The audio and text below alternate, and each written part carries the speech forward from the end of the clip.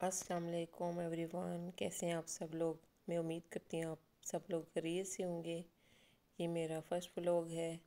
I hope कि आप सबको पसंद आएगा। मैं आप सबके साथ ट्रैवल जर्नी शेयर कर रही हूँ। आज मैं थोड़ी सी कंफ्यूज हूँ क्योंकि ये मेरा पहला व्लॉग है। आई होप आप सब लोग लाइक करेंगे।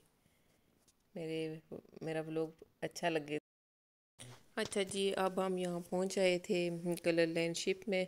हमने जाना था जर्मनी। है, तीन दिन का हमारा टूर था।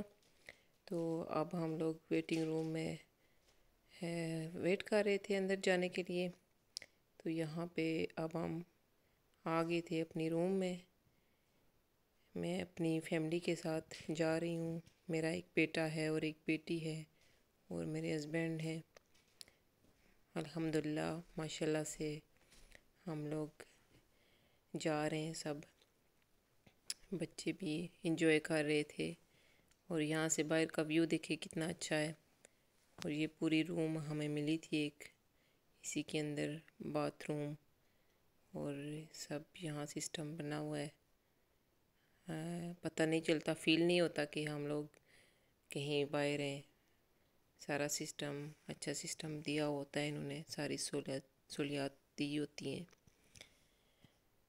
देखें यहाँ पे कितना प्यारा व्यू लग रहा है। और मेरा बेटा बार बार बाहर देख रहा था, पानी को और खुश हो रहा था। और मेरी बेटी बहुत ज़्यादा एक्टिव है। हर तरफ़ बस भागती दौड़ती है। यहाँ से व्यू देखिए कितना प्यारा लग रहा है बाहर का। यहाँ पे फिर हम आ गए थे खाना खाने के लिए शाम का।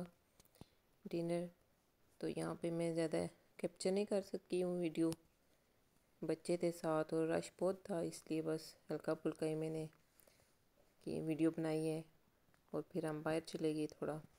समुंदर देखने लगे। बहुत शाम का टाइम था, बहुत अच्छा लग रहा था। जब मैं छोटी थी तो मुझे समुंदर का पानी और समुंदर देखने का बहुत शौक़ था, लेकिन मैंने कभी देखा नहीं था पाकिस्तान में। क्योंकि हम दूर रहते थे इतने बड़े समुंदर से। और जब मैं यहाँ पे आई तो फिर तो नॉर्वे में तो बहुत समुंदर है आगे पीछे। और यहाँ बच्चों की कुछ गेम्स वगैरह हो रही थी तो मेरा बेटा बहुत ज़्यादा एक्साइटेड था। हम इसको लेके यहाँ आ गए थे अंदर शिप के, बहुत बड़ा शिप था। उसके फोर्टीन फ्लोर थे। हमें एट फ्लोर पे रूम मिला था। तो यहाँ सही मॉल की तरह बना होता है। पता नहीं चलता कि हम बहरी जहाज़ में ट्रैवल कर रहे हैं। यहाँ बच्चों की खेलने वाली एक्टिविटीज़ की कुछ जगह बनी होती हैं। और ये देखें पानी कितना गहरा है। और यहाँ हम गए थे थर्टीन फ्लोर पे तो यहाँ बहुत ठंडी हवा और तेज़ हवा थी।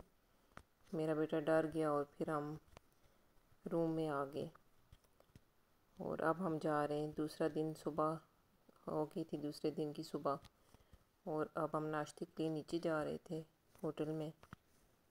और ये देखें, यहाँ पे शॉप्स वगैरह भी बनी होती हैं। हर चीज़ अंदर आपको नज़र आएगी। ये देखें, सुबह का व्यू कितना प्यारा लग रहा है।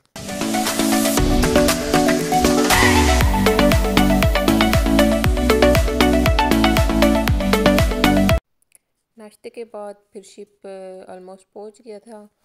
जर्मनी वहाँ फोर आवर्स का स्टे था। फिर शिप के जितने भी सारे होते हैं लोग, उनको बाहर जाना होता है फोर आवर्स के लिए। फिर हम बाहर चले गए, घूमे फिरे थोड़े। बच्चे आगे पीछे खेलते रहे, खाना वगैरह खाया।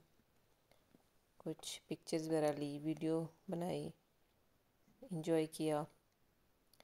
और यहाँ पे हम आपको दिखा रहे हैं थोड़ा जर्मनी। आप भी देख लें हमारे साथ साथ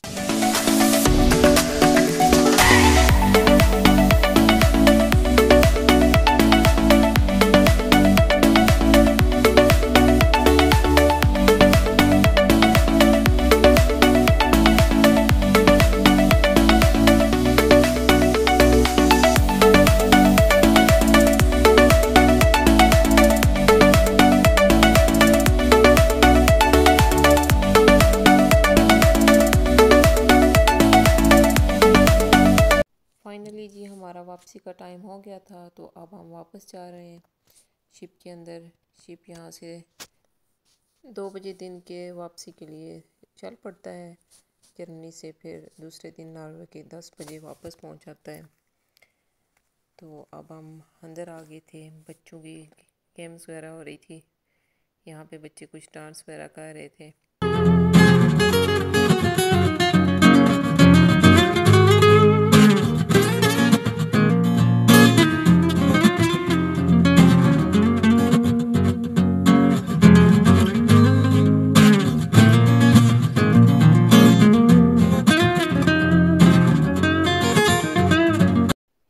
अंदर सीढ़ियाँ बहुत थी। मेरी बेटी बार बार सीढ़ियों के ऊपर नीचे हो रही थी। उसको बहुत मज़ा आ रहा था, बहुत इंजॉय कर रही थी। लिफ्ट भी लगी हुई थी, लेकिन सीढ़ियाँ भी थी। तो यहाँ पे देखें, लोग बाहर खड़े इंजॉय कर रहे हैं, देख रहे हैं। यहाँ पे सामान वाला वाला शिप जा रहा था और ये देखें एक, ये ब्रिज है जो स्वीडन और डेनमार्क को टच करता है। बहुत बड़ा ब्रिज है और जब नीचे से जहाज़ गुजरा तो हम भी थोड़े डर गए कि इतना ऊँचा लग ना जाए इसको। तो ये देखें, शिप के अंदर जो शॉप्स वगैरह बनी हुई हैं तो मेरी बेटी जाके बार बार वहाँ पे कुछ ना कुछ उठा रही थी। और मेरी बेटी तो भागती है, और उसकी जगह मेरा बेटा प्रेम में बैठ जाता है। अब यहाँ पे हम पहुँच आए थे नॉर्वे में, और अब घर की तरफ़ सब लोग जा रहे थे तो हम भी जा रहे थे। अपने अपने घरों में सब तो आई होप आपको ये मेरा छोटा सा ट्रेवल ब्लॉग अच्छा लगेगा। प्लीज़ लाइक सब्सक्राइब और शेयर करें अपने फ्रेंड और फैमिलीज़ के साथ और मुझे सपोर्ट करें। और मैं भी आप सब के लिए आपको दुआओं में याद रखूँगी। आप सभी मुझे अपनी दुआओं में याद रखना। अल्लाह हाफिज़। अब हम जा रहे हैं।